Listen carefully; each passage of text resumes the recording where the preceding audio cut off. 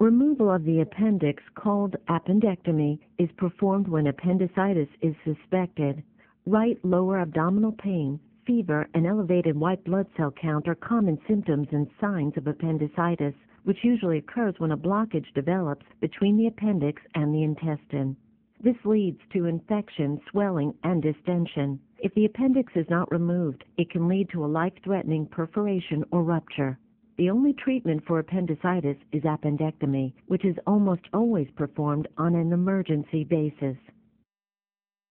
Newer laparoscopic techniques require only tiny keyhole incisions or puncture wounds, which generally result in a shorter recovery period. Before your surgery, an intravenous line will be started. Appendectomies are done under general anesthesia, which will put you to sleep for the duration of the operation. A breathing tube will be temporarily inserted through your mouth and into your throat to help you breathe during the operation. A catheter may also be placed in your bladder to drain your urine. An uncomplicated laparoscopic appendectomy usually takes between 20 and 30 minutes.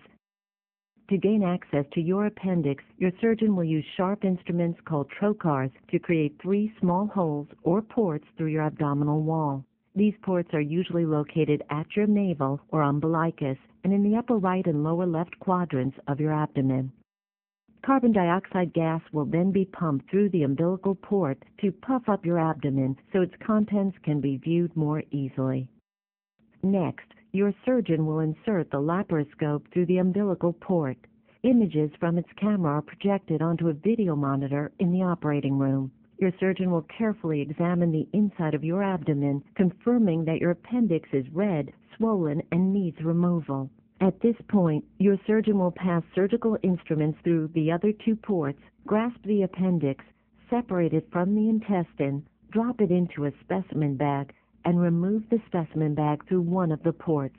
After your appendix has been safely removed, your surgeon will instill warm, sterile salt water through one of the ports into the abdomen to cleanse the abdominal cavity and remove any traces of infection. The salt water is then suctioned out. Before removing the laparoscope, your surgeon will take one final look around for areas of bleeding or other damage. When the laparoscope is removed, a port valve is left in place briefly to allow all the carbon dioxide to escape from the abdomen. Finally, the keyhole incisions are closed with sutures or staples and covered with bandages. At the conclusion of the surgery, your breathing tube and catheter will be removed and you will be taken to the recovery area for monitoring where you will be given pain medication as needed. When you are able to drink liquids, your intravenous line will be removed. Most patients can leave the hospital within 24 hours.